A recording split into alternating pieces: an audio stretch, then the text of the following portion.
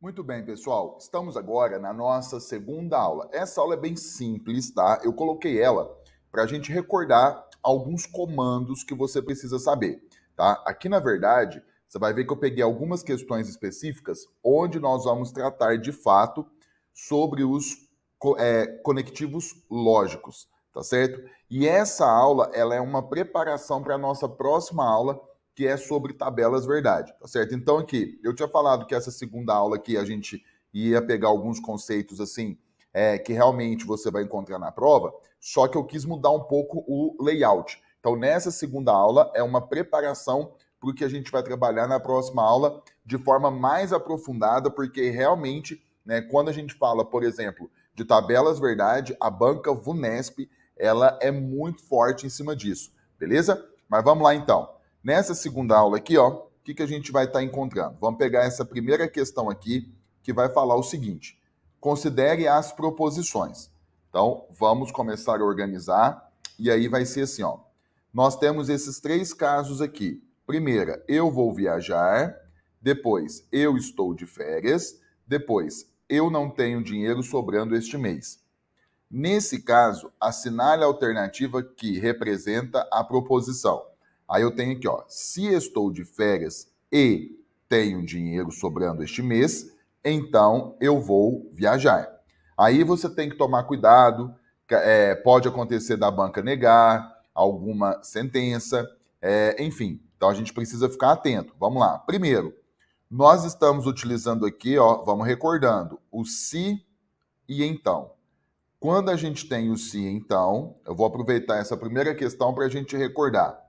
Né? Quando a gente tem o caso do se então, nós temos uma condicional, certo? Então nós temos aqui uma condicional que no caso se trata do se e então, certo? Pronto. Aí, o que, que a gente está percebendo aqui também? Nós estamos percebendo que nós temos aqui ó, o E, tá vendo? Nós temos o E, e aí nós temos uma conjunção. Então, recordando um outro é, conectivo lógico, chamado de conjunção, nesse caso se trata do E, certo? E aí, o que que acontece? Vamos lá, ó. Se estou de férias, deixa eu pegar outra cor aqui, ó. Vamos começar a trabalhar aqui na nossa sentença, ó. Se estou de férias, essa parte aqui, ó, nós temos três sentenças. Estou de férias é o que, ó? Então aqui é o que, certo? Que manteve, ficou tudo igual. Aqui, ó, tenho dinheiro sobrando este mês. Vamos ver aqui se a gente tem que tomar um cuidado. Olha só aqui, ó. Eu não tenho dinheiro sobrando esse mês. Tá vendo que aqui nós temos o não? Tá? Aqui, ó, nós não temos essa, essa palavrinha não. Então, o que, que a gente faz?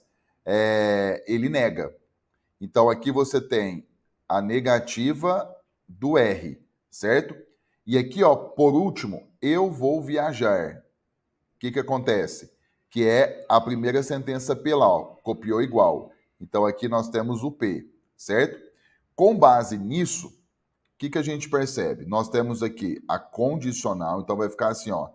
Se que, certo? E, ó, e não R, e não R, então, ó, P. Então vai ficar dessa forma aqui tá certo? Se você quiser, você pode colocar um parênteses aqui, ó. De vez em quando o pessoal gosta de colocar. Então, nós pegamos toda essa sentença, certo? Toda essa frase e convertemos ela para a linguagem simbólica. Você precisa tomar esses cuidados. Transformando para a linguagem simbólica, ela ficou nesse formato aqui.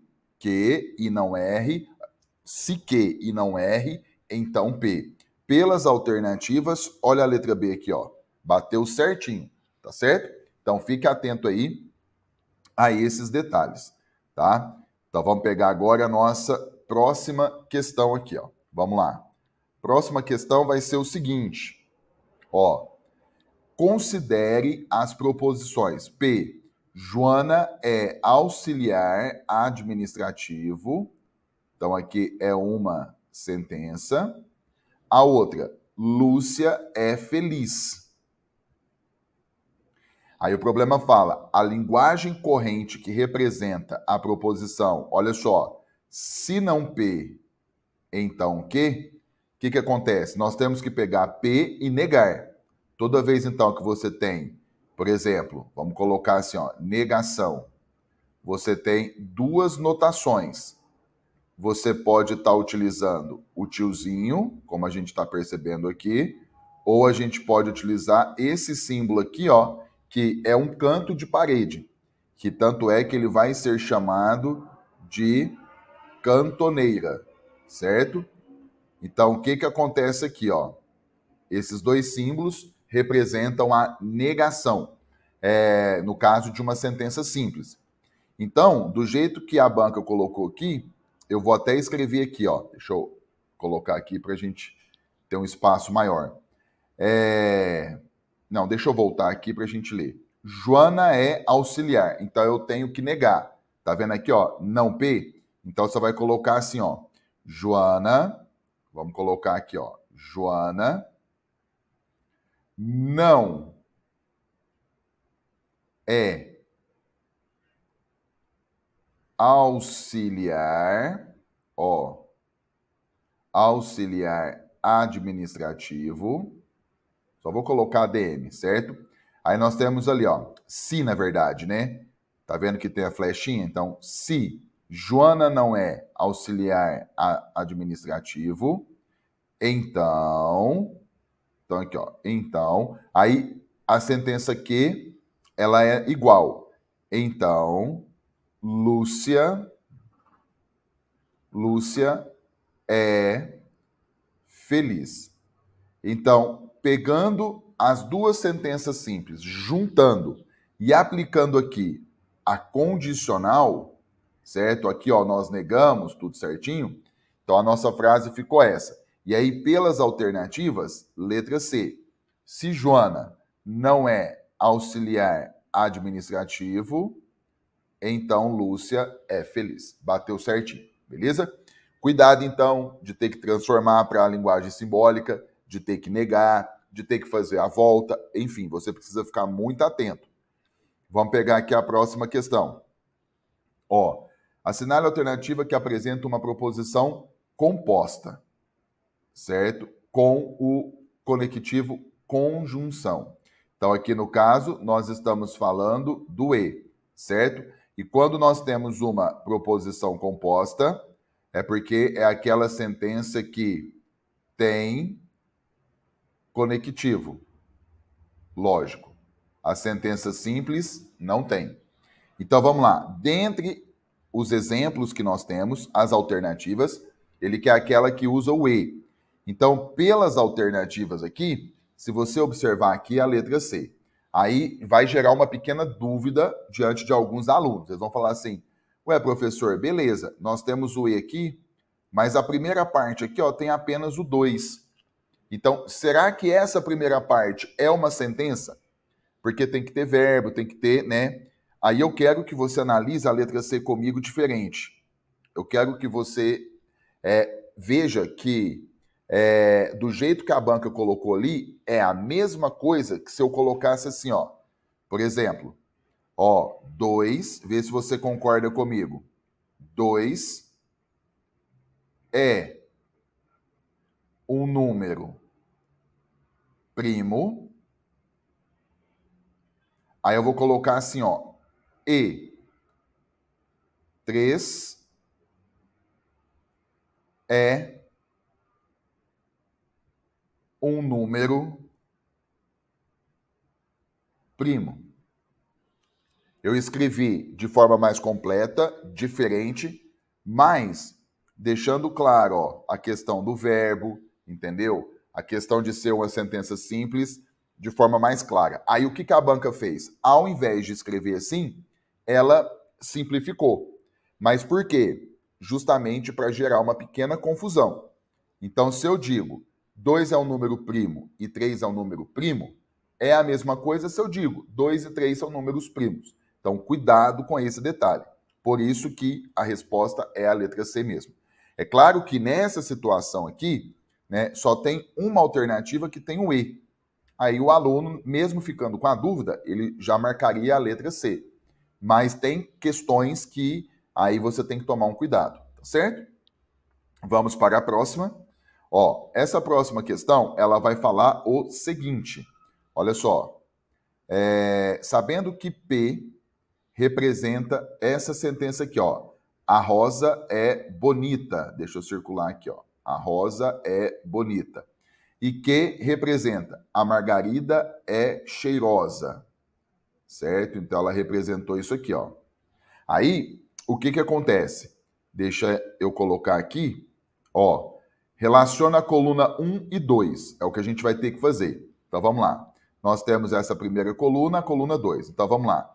É, olhando aqui para a coluna 2, a primeira sentença é o seguinte: a rosa é bonita, aí nós temos aqui, ó, ou a margarida é cheirosa.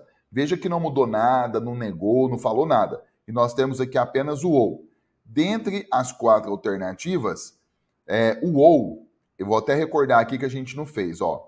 Nós temos o que nós vamos chamar de disjunção, veja bem, disjunção inclusiva, certo? Disjunção inclusiva, que se trata do ou, e o seu símbolo é um Vzinho. Ou seja, é o primeiro caso, ó, P ou Q. Então aqui é um, certo? Aí você vai olhando as alternativas, você já elimina a letra B, que o primeiro é 2, ó, elimina a letra C, e já elimina a letra E. Ó. Cuidado com essas sacadinhas na hora da prova. Aí agora, a segunda sentença é essa aqui, ó. A rosa é bonita e e a margarida é cheirosa. Ó. Não mudou nada também, só que usou o E. O E nós já recordamos, se trata da conjunção. E é o triângulozinho aqui, ó. Então aqui, ó, é 2. Se o segundo espaço é 2, você já elimina, por exemplo, a letra D, que é 3, ó. Pronto. Então, fazendo dois casos, eu já matei a questão. A resposta já passa a ser a letra A, ó. Mas vamos finalizar. Olha a 3. Apresenta o símbolo da condicional, que é o se então. No caso ali, o 3, ó, setinha, certo?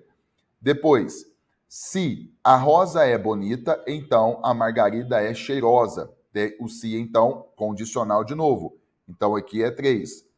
Olha só, a rosa é bonita, agora nós temos o ou. Só que nós temos um detalhe. A margarida, ó, não é cheirosa, negou. Então a, o item 4 aqui, ó, P ou não que. Então aqui é o item 4 e por último, apresenta o símbolo lógico de conjunção, que é o e. Então onde tem o e? O 2. Então se você observar, ó, os números batem corretamente com a letra A.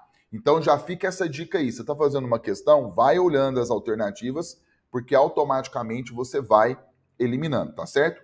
Eu vou aproveitar aqui, ó, só para recordar os outros casos. Nós temos a disjunção, ó, exclusiva, certo? Então nós temos a disjunção exclusiva, que no caso se trata do ou ou certo? E nós temos a bicondicional, que também nós não falamos ainda. A bicondicional se trata de quem? Se trata do se e somente se. Então se trata do se somente se. O símbolo é a setinha de duas pontas e o ou, ou, o símbolo é um Vzinho com traço embaixo. Tá certo? Beleza. Então vamos lá para a nossa próxima questão. Ó, nesse caso aqui, considere as proposições P e Q. A proposição Ricardo não é arquiteto e Fernando é acriano é representada por. Então, pelo símbolo, né? Aqui nós temos ó, o E, a conjunção, então é um triângulo. Aqui o P é Ricardo é arquiteto, mas aqui, ó, nega. Então a gente coloca não P, certo? E aqui, ó, copiou igual. Fernando é acriano. Então você põe só o quê? Então é não P e Q. Então, cadê? Não P e Q, letra D. Tá certo? Muito bem. Então vamos pegar aqui agora a próxima questão, tá?